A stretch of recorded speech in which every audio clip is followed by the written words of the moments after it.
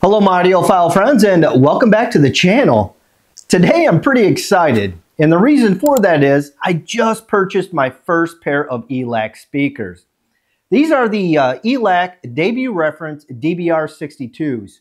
They have a 6.5 inch driver and a 1 inch soft dome tweeter.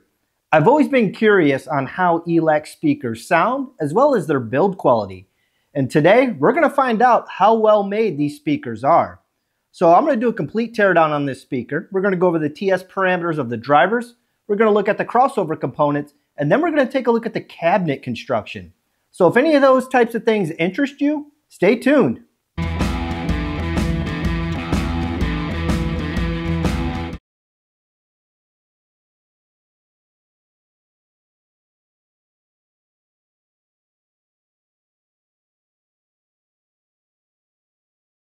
So I'm really kind of excited to tear one of these down. I've never owned a pair of ELAC speakers, but I've heard a lot of good things about them. And I actually did reach out to ELAC to see if they would send me a pair to review, but they never responded. I guess my channel's too small to matter, but that's not a big deal. I just went ahead and bought my own set anyways. And today we're gonna find out just what makes these things tick. So the first thing I'm gonna do is I'm gonna remove the bass driver.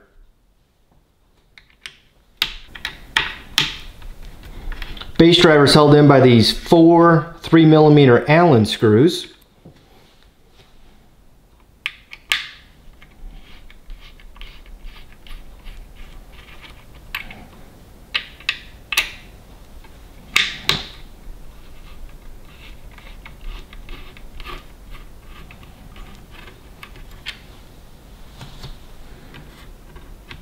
It appears I need to remove the grill to the tweeter before I can remove the bass driver.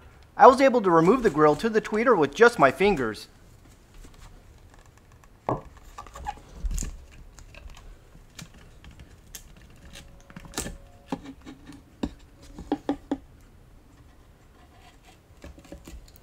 Oh wow, I'm liking what I'm seeing already.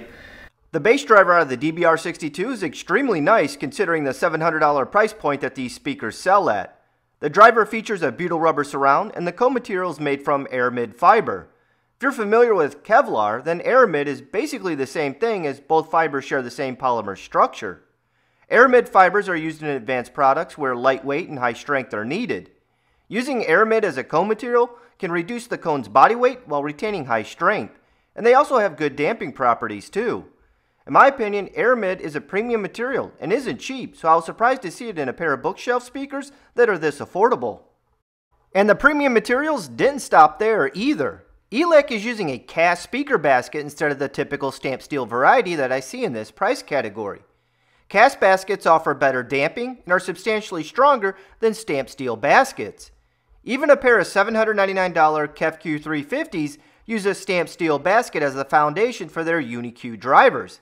With ELAC, it appears you get quite a bit of value for your hard-earned dollar. The bass driver in the DBR62 is using an underhung voice coil design and ELAC is using several design techniques to keep it cool. The first method is by using a vented pole piece which indirectly cools the voice coil and also gives the trapped air behind the dust cap a place to vent. The second method is by venting the voice coil underneath the spider, which will help keep it cool during those long and loud listening sessions. Another thing that surprised me is the large ferrite magnet that they are using. I can now see why the bass response is so good with the DBR62s. I don't think I've come across another 6.5 inch driver using a magnet that is quite this large in this price category. This is definitely one of the more hefty 6.5 inch drivers that I've come across. Speaking of which, let's see how much this driver weighs. And the bass driver came in at 4 pounds and 15 ounces. Pretty hefty. For comparison, the bass driver for my SVS Ultra Evolution bookshelf weighs 3 pounds and 10 ounces, and the bass driver for my Bowers & Wilkins 705 S2s came in at 3 pounds and 13.5 ounces. Now let's throw this driver on the bench and measure its TS parameters. I am very impressed by these measurements considering that these speakers sell for only $700 per pair. The resonant frequency came in at 46.9 Hz, and the bass driver in the DBR62 is extremely well damped.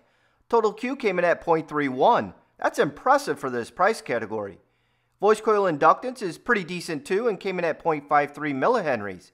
I can now see why the DBR62 has such great bass. It's because BL came in at almost 8.5 Tesla meters.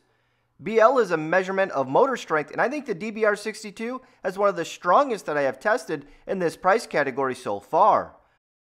Now let's test for any variations between the bass drivers. I tested a pair of JBL Studio 630s a few months ago and had terrible consistency between them, and I'm hoping ELAC can do much better. The green and blue lines are woofer 1 and woofer 2 for my JBL Studio 630s. As you can see from the chart, there was enough of a discrepancy between both drivers that it failed this test. For the JBL drivers, FS had a difference of almost 13%, and there is a 46% difference in max impedance. Yikes!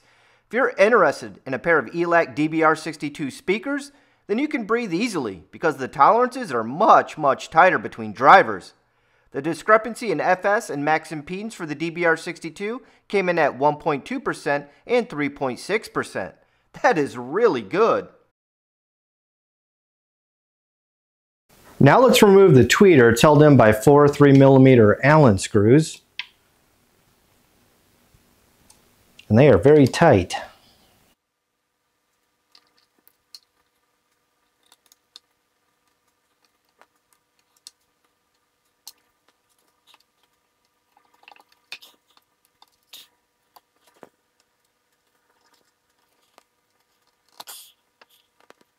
The DBR62 uses a 1-inch soft dome tweeter that utilizes a dome made from cloth. The interesting part about this tweeter is that it uses a wide surround. It reminds me of the surrounds that you would typically see on a woofer. Andrew Jones, who is the chief engineer at ELAC, said the wide surround gives the tweeter the ability to go down really low, as well as the ability to go really high. To ensure the tweeter would have a nice flat response all the way to 20,000 Hz, Andrew developed the tweeter to extend well beyond human hearing to near 35,000 Hz. His reasoning behind this is that some soft dome tweeters start to roll off near 20,000 and can be down as much as 3 dB or more. Developing a tweeter that has a frequency response well beyond 20K should ensure a flat response to 20,000 Hz. Andrew goes into more detail than I ever could share, so I will include a link to his video in the description. Another performance enhancing mechanism is the waveguide that this tweeter uses. This waveguide is designed to improve directivity, which will in turn give a strong soundstage and maintain even tonality. Here are the results of the impedance sweep that I performed on the tweeter. The resonant frequency of the tweeter came in at 823 Hz, which is no surprise there. For the most part, the impedance curve is pretty smooth up until about 1600 Hz. At 1600 Hz, there is a hump right after the resonant frequency, which I think is caused by driver resonances that are taking place. This resonance won't matter anyways because the tweeter is crossed over at 2200 Hz and will never play down that low. The cabinet for the DBR62 is very well made and is one of the best that I have seen at this price point. The front baffle is 7 8 of an inch thick and the rear cabinet wall is 5 8 of an inch thick. I would assume the side cabinet walls are the same thickness as the rear cabinet wall, but can't verify. In the center of the cabinet is a pretty hefty brace that ties the side walls together and will help reduce any resonances that might be taking place. ELAC even lined parts of the cabinet wall with damping material, which is nice to see. I really like the way this cabinet looks. The rounded edges and the blacked out front baffle give the cabinet a nice high-end look. Even the fake wood grain is nice enough where I think it might fool some people into thinking it's real wood veneer. Now let's see how this cabinet sounds when I perform the good old-fashioned knock test.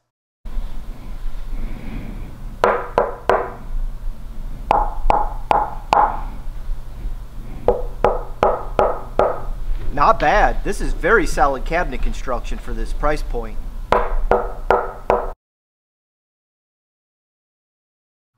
Now let's measure port tuning. Do you see the two humps on the graph? The lowest point between those two humps is the port tuning for the DBR62, which came in around 50 Hz. This test can also detect any cabinet resonances that might be taking place. The hump that I circled in yellow shows a small cabinet resonance around 600 Hz. The terminal cup for the DBR62 is held in by four Phillips head screws. The terminal cup and crossover are integrated with each other, meaning the crossover is mounted directly behind the backside of the terminal cup. Getting the terminal cup out was a bit challenging because the crossover is fairly large and there isn't a whole lot of room to pull it out of the opening. Now let's test the binding post and crossover for any ferromagnetic materials in the signal path. The binding posts are not ferromagnetic, but the nuts that are used to fasten them to the terminal cup are ferromagnetic. The tabs that connect the crossover to the binding post are not ferromagnetic either, which is nice to see. If you don't mind spending a few bucks on brass nuts, then you can easily replace the ferromagnetic nuts on the binding post with ones made from brass. I will leave links in the description to the brass nuts that I'll be using on my speakers.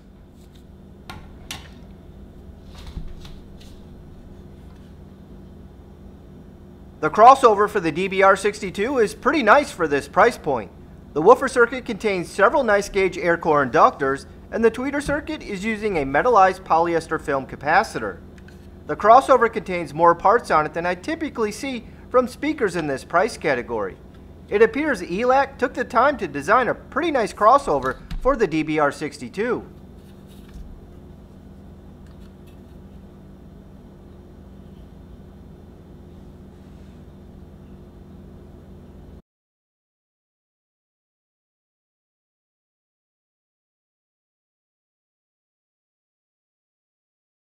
Every once in a while I come across a set of speakers that really impress me, and the ELAC debut reference DBR62 is definitely one of those speakers.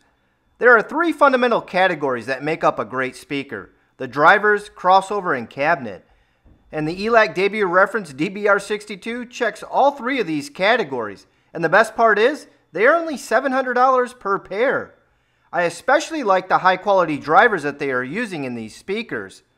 Drivers of this quality are normally found in speakers costing quite a bit more. Even the cabinet and crossover are pretty impressive for this price point. If you're in the market for a true audiophile grade speaker without breaking the bank, then the ELAC debut reference is definitely a speaker you'll want to have a listen to. In my next video, I'll be doing a review on the DBR62. In my review videos, I test out the speakers in a variety of different room sizes to see how they perform and then I give you my listening impressions on how they sound in both movies and music. And that's my look inside video on the ELAC debut reference DBR62 speakers. If you like this video, make sure to hit that like button. So long, and happy listening.